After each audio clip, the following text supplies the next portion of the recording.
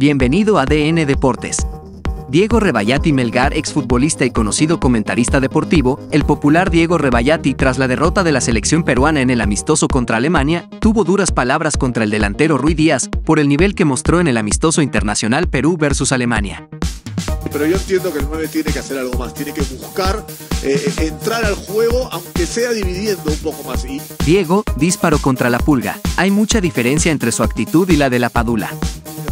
No te da eso, no, no, no te está dando eso en la selección. De acuerdo con eso. O sí, sea, él esa tiene, parte que, sí. él tiene que mostrar una voluntad, eh, hasta desde el fastidio, desde quedar en pelota. buscar el espacio, sin la pelota, algo más tiene que hacer. Es mucho la diferencia de la actitud con la que juega Díaz a la actitud con la que juega la Padula.